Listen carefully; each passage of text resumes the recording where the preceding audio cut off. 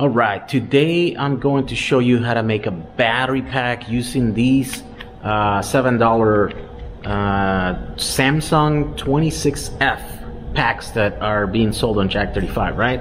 Uh, these are very, very easy to make into a bigger pack that then you can use on 24 volts, on 48, and today I'm going to show you how to do that. Let's get going.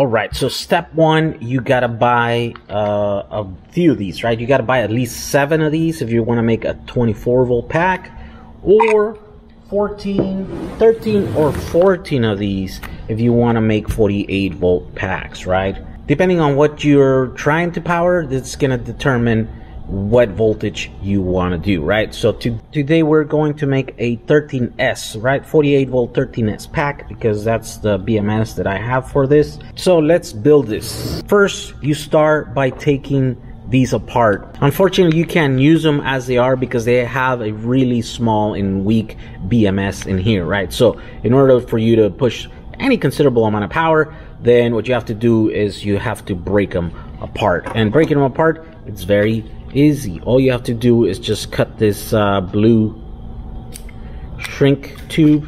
All you do is just start it like that, right? And then the rest becomes a lot easier.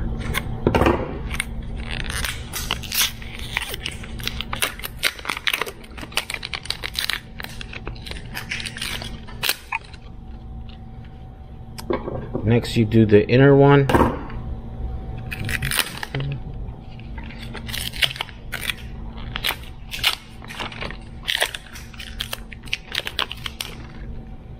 and then you do the final one. These things are very well protected. They have they have three layers of this stuff.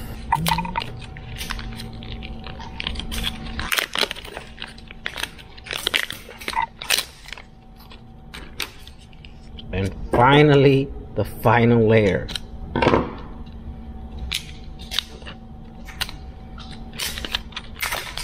Right, and you finally end up with a pack like this. Next, you'll have to take off this uh, BMS unit here. And that's simple. You just cut it, that one there.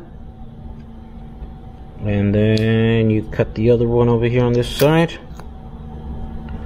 Then you cut this one on the other side here.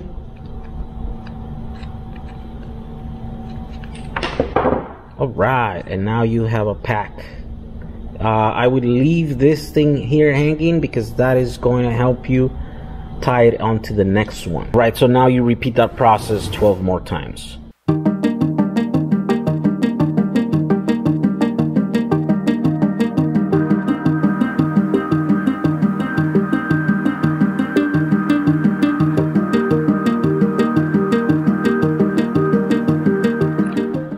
All right, now that you have them all like this, what you're gonna do is you gotta check the voltage on all of them. This all have to be at the same voltage and I'm gonna check them and I'm gonna write on here what the voltage is.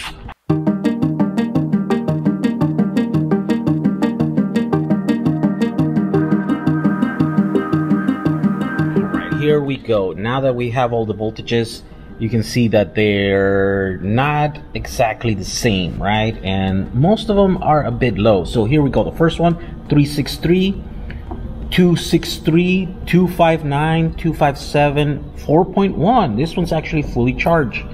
We should probably remove that one. Uh, 248, 226, 2.52, 2.28, 2.51, 2.28, 2.45, 2.66, 2.58. Okay, so they're all about two and a half volts or somewhere around there, right? Except, oh, for this one. Uh, what I want to do is I would want to hook them up together and charge them so they're all exactly the same voltage.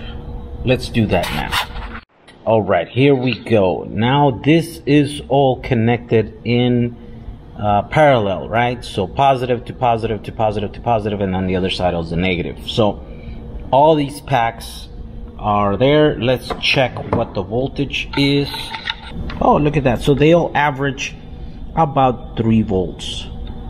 Right? Uh, because there was one that was like 3.6. So th that one's charging all the other ones that are, were at 2.2 and a half volts, right? So right now there's a little bit of transfer of uh, energy there, but we're going to charge them.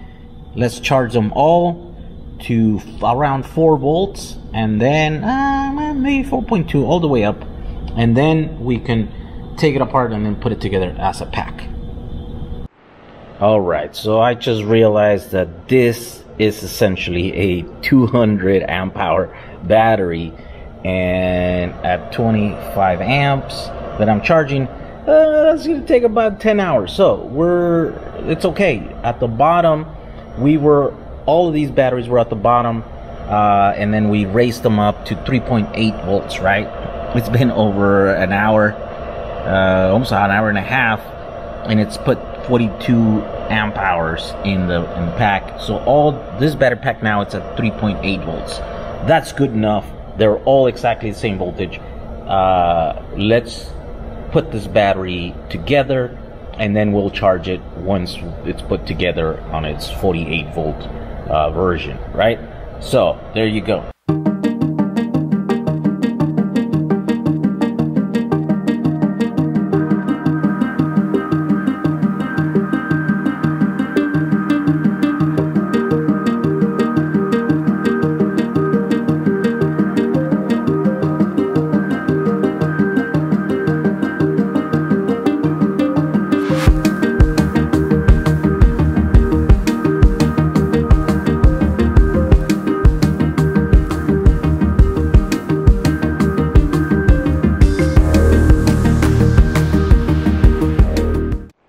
so here we go. Here it is. A 13s battery. 13s 6p right? I just basically used the same uh, strips that it had there and then i just welded them uh, or soldered them to the next one right? So this pack came about together pretty quick in about an hour.